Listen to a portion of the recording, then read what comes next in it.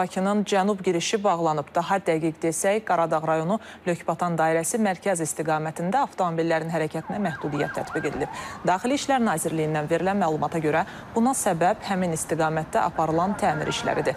Qeyd edək ki, Bakıya cənub istiqamətindən yeganə giriş Lökbatan dairəsindən başlayır. Ölkənin əksər rayon və şəhərlərindən, eləcə də paytaxtın Qaradağ rayonundan şəhərin mərkəz istiqamətinə giriş kənar dairəvi yolla təşkil edilir.